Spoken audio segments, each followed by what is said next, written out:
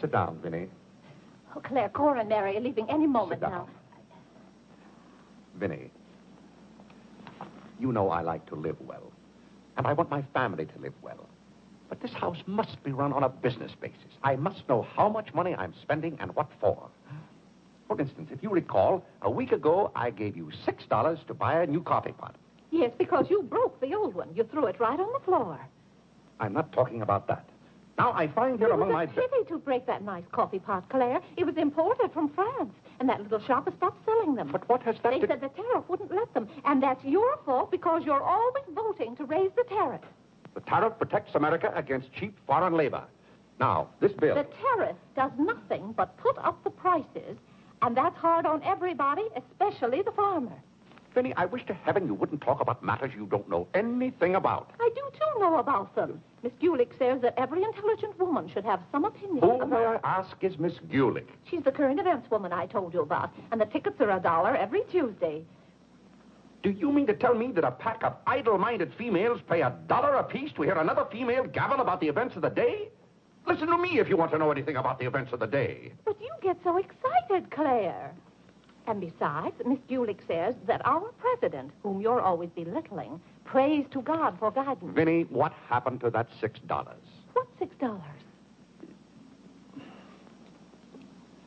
I gave you six dollars to buy a new coffee pot. Now I find that you apparently got one at Lewis and Conger's and charged it. Here's the bill. One coffee pot, five dollars. So you owe me a dollar, and you can hand it right over. I'll do nothing of the kind. What did you do with that six dollars? Well, Clare, I can't tell you now, dear. Why didn't you ask me at the time?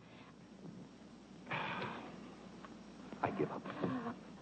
Wait a minute. I spent four dollars and a half for that new umbrella, Now we're getting somewhere.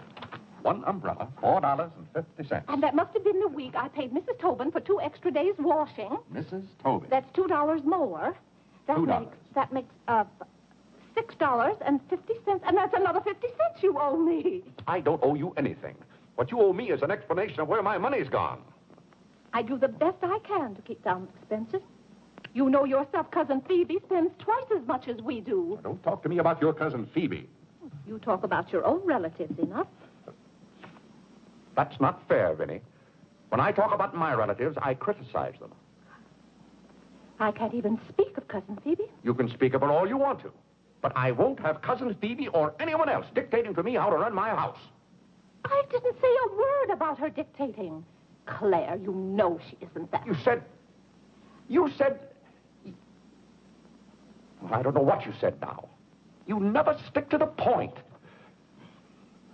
Now, we're going over this account book, item by item. I find here a bill for $38. I don't know what you expect of me. I tire myself out chasing up and down those stairs all day long, trying to look after your comfort, to bring up our children. I do the mending and the marketing. Now you want me to be an expert bookkeeper, too.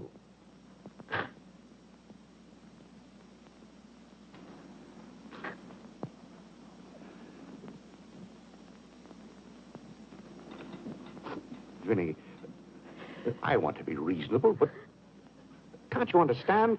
I'm doing all this for your own good. Oh. Well, I suppose I'll have to go ahead just paying the bills and hoping I've got enough money in the bank to meet them. But it's all very discouraging. I'll try to do better, Clare. Well, that's all I'm asking. Well, I'll uh, make out the checks and sign them. But uh, maybe I haven't any right to sign those checks since, in the sight of the Lord, I haven't any name. That's right. Clare, to make those checks good, you'll have to be baptized right away. Vinny, the bank doesn't care whether I've been baptized or not. Well, I care. And no matter what Dr. Lloyd said, I'm not sure we're really married. Vinny, we have four children. If we're not married now, we never will be. Clare, Dr. Lloyd said this morning. Well, that's all, Vinny. Uh, hadn't you better go tell Whitney to watch for the cab? Not before you give me that dollar and a half.